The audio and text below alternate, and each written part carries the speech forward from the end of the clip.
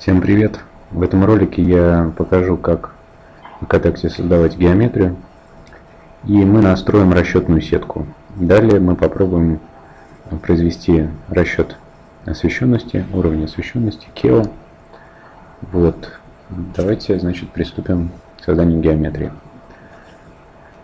Значит, Ecotect обладает достаточно специфическим 3D-редактором, но, в принципе, здесь можно производить базовые, так скажем, построения, и они, все объекты имеют параметризацию, и редактировать достаточно удобно, даже иногда удобнее, чем в каком-нибудь скетчапе. С чего я начну? Я создам плоскость, э, я мог бы создавать зону сразу, то есть объемный объект изначально. Я создам плоскость, которую потом выдавлю. Нажимаю, э, выбираю план F5 и создадим достаточно такой приличных размеров объем. Значит, я вижу, что она у меня прямоугольна. Теперь мне не нужно ее замыкать, просто нажимаю Escape. F8 перспектива.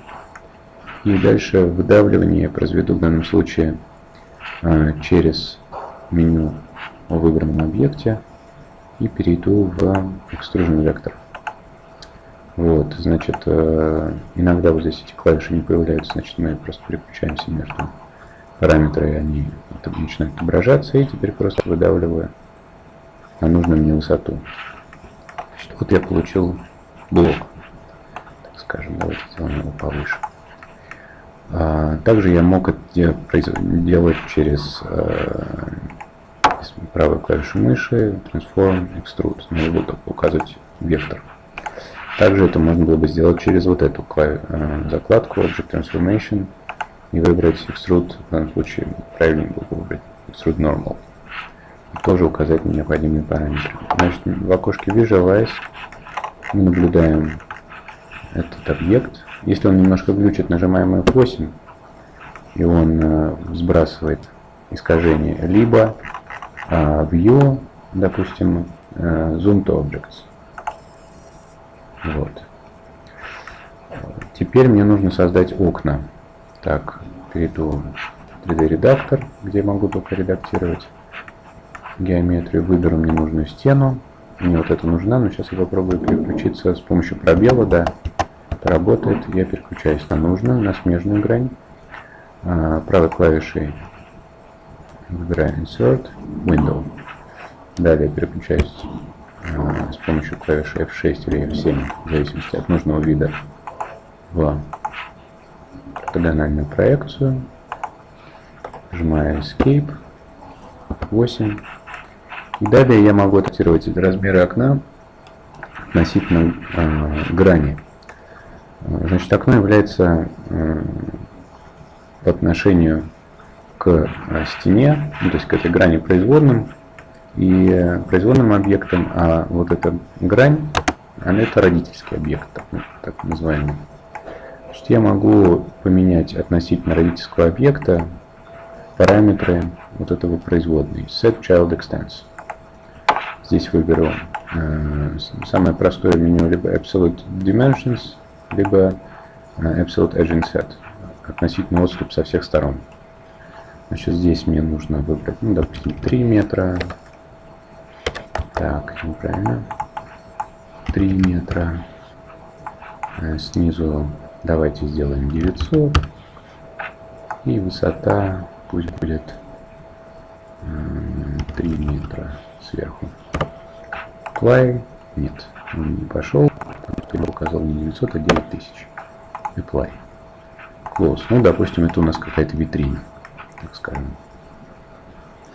А, далее настроим расчетную сетку.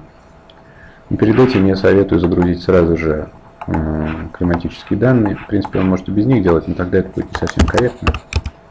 Russian, Moscow.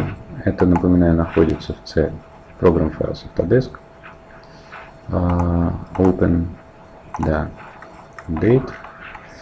И uh, теперь мне нужна расчетная сетка. Значит, захожу в Analysis Grid, Display Analysis Grid.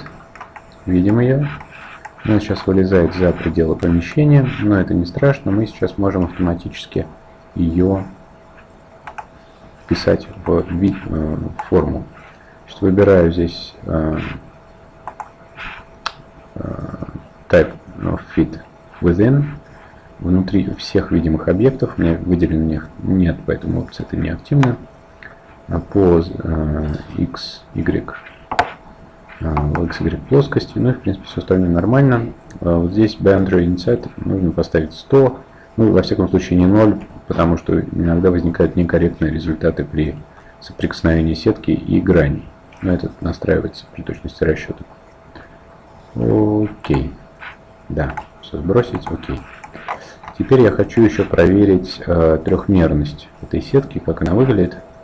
Для этого выберу Just Grid Extends, Manually Just Grid Extends. Ага, ну вот у меня, в принципе, она вся вписана уже. Если мне нужно было бы ее поправить, то я бы просто кликал на выбранную. Сначала выбирал бы а, вершину, кликал, перемещал бы всю сетку или а, двигал бы в высоте. То есть тоже, или вот, допустим, я кликаю на эту вершину и двигаю, соответственно, по вот этой оси. Вот. Но мне этого не нужно. Сейчас я еще раз проверю все ли у меня так. Ну вот я уже куда-то ее увез. Тащил.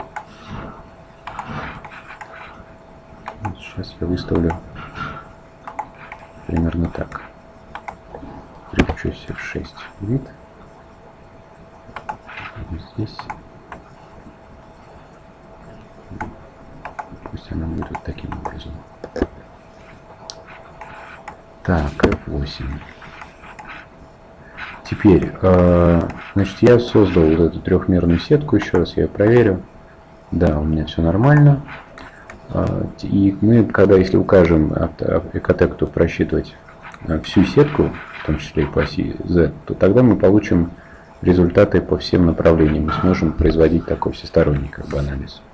Если мы этого не, не указываем при расчете, тогда он не считает а, всю массу, считать только плоскость, которая видим. Вот, теперь, э, собственно, перейдем к анализу освещенности.